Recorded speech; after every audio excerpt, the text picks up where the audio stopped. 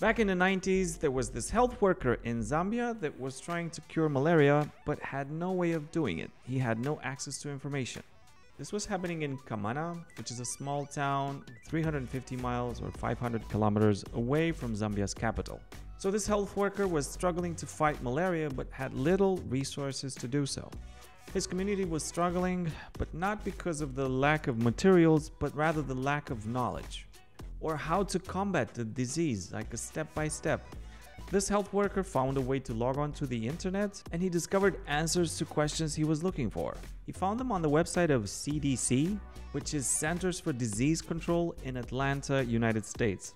Now, for the younger generation out there, internet wasn't as a commodity as it is nowadays you had to go through hoops into connecting to it and be able to have access to it. Like even myself, uh, being 10, 15, I wasn't able to access the internet. It was kind of the equivalent of having to travel to another city where they had it. So you went to a library and you were able to connect to it. So the health worker used the website of CDC and started using advice on how to treat his community.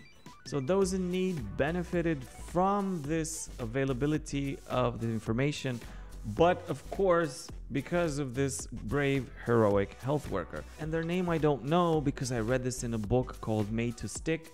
I just want to praise this person for helping his community. Thank you so much for being such an anonymous hero, for helping your fellow human beings. All right, why am I telling this story? Well, because it's a cool fucking story, first of all. And before I tell you why it is so important that you know this story and the teachings behind it, please like and subscribe to this YouTube channel. My name is Dominic. I'm a customer experience enthusiast. I've been doing it for 16 years now, 11th year as a Zendesk consultant. I'm telling you this story, and you might have picked up on it. It's because of the knowledge base part, right? So, this website had a knowledge base with information shared to people, which was useful to people. Go figure you can see how useful information being publicly available can be to some people somewhere across the globe. So, whatever your business is activating in, whether it's textiles, whether it's food, whether it's electronics, whether it's healthcare, whether it's, I don't know, whether it's manufacturing of planes, manufacturing of pipes, I don't know what you do, but more power to you. You need to put a troubleshooting knowledge base online. You'd want to make available for people to read on how to turn it on, how to build it themselves, how to troubleshoot it, how to heat it up, how to make it cold, how to treat it, how to untreat it, how to everything. Why do you need this? Well, I'm glad you asked. First, self service. People go online, they search for it, they find it, and they're happy they found the answer themselves and they don't have to reach for you. Good for you because you don't have to spend time answering people's questions. Another reason why you need this is because you help the community. You just don't know where the impact is going to come from, and it might be major in some parts of the world.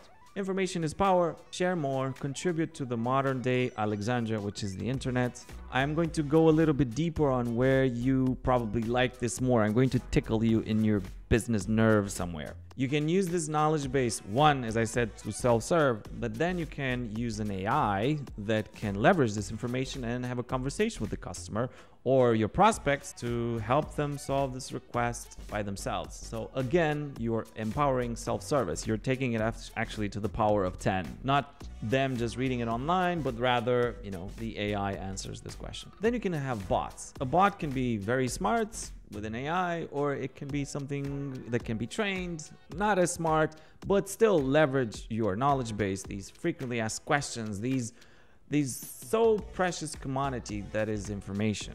Now, how does this tickle you? Well, it saves you a bunch of money and it makes your community a little bit more interested in you because you offer information, you give to them, and when you give, then you also get back in return. Or so they say. Get a knowledge base, be a badass, you have no idea how this can positively impact somebody somewhere in the world. So, thank you for watching, and I'll see you in the next one. Bye.